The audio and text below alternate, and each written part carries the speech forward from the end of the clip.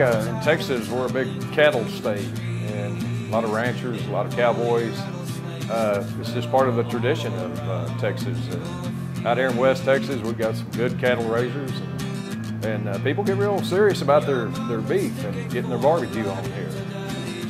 So uh, anytime you take a cut of meat and flavor it with wood, uh, people, you ask 10 different people about that, their opinions on it, and you'll get 10 different answers.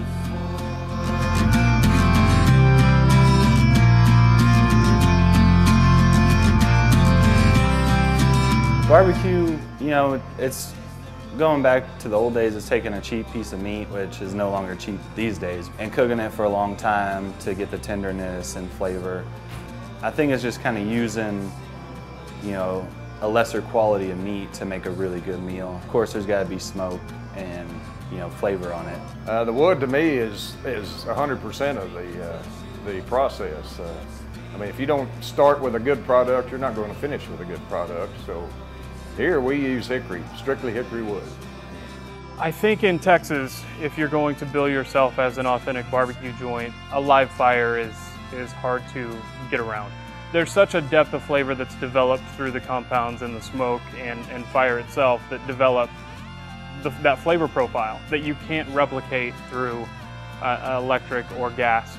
Uh, there are hybrid smokers um, that operate on both gas and wood. So you basically use wood when it's convenient and, and then you can walk away and, and let it run off of a thermostat and gas uh, to finish the cook. So uh, I, I, would say that that's better than than no wood at all. But I, in in my opinion, all wood is is the only way to really develop those those flavor profiles.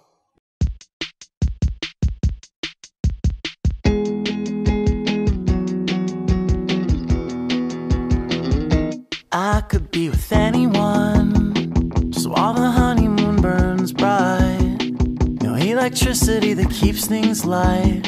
And I'm not saying that it's right. Or saying that it's always right. I'm just saying that it's not a lie. I don't, I don't think that you ever get used to the late nights and the early mornings or the all-nighters. It's a lifestyle owning this sort of food establishment. It's not just a job. So you have to really um, adjust your life, go to bed earlier, rest on your days off, because um, it's not just something that you can leave work at work. It's it, this is our our work is our life. When I took this over in 1980, my goal was to leave it exactly like it was because it was successful and it, it's I mean, I, it's worked ever since. So I'm kind of old school. If it's not broke, don't fix it. it's fun because anybody can get out in their backyard and try it. You know, you may not be great at it, but you know, have friends and family over, kind of gathering, and you know, it's kind of a social event. I know that the more I I cooked, the the more of a feel I got for what I was doing. Uh, for the most part, barbecue is a mystery until you take a bite you could put in 18 hours and everything could look good and you go to take a bite and it was off. The seasoning was off or the smoke was off or it was overcooked or undercooked at that point. The more you do it, the, the more you're around it, the more you smell it, the more you see it, the more you feel it, the more confident you are. If I know that this piece of meat should have come off at seven, but today it's just not ready at that point, then I'm confident leaving it on to finish. And likewise, if, uh, if I feel like it should have come off at seven, but it 5.30 it, it feels and looks and, and acts like it's cooked through, uh, then, then I have to be confident enough to pull it at that point. Tom and Bingo's in this location opened November 1952. I'm second generation in it. I would say 70% of my customers that come in here know what they're going to order before they ever get up to the counter. I mean, we try to be real consistent each day with what we do. Uh, we don't change anything, so we offer the same products and, and uh, I think they just, uh, they know, they, they expect that they're going to get what they get when they order. So, uh, yeah.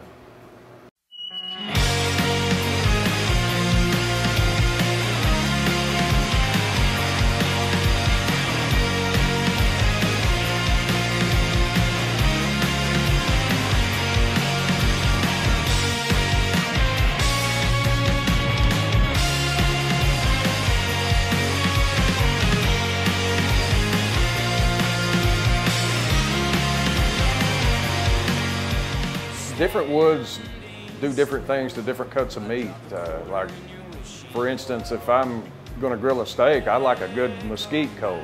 Oak in itself is very, very mild. Um, so if I'm doing a 16 to 19 hour cook, I don't have to worry about overdoing it, getting it too smoky. You can over smoke it and then you kind of get a bitterness and you get heartburn and a lot of that stuff. So getting the right amount of smoke on it to hit the general public, some people like it really smoky, some people don't like much smoke at all. Oak is kind of a safe alternative, very mild and allows for a really long cook.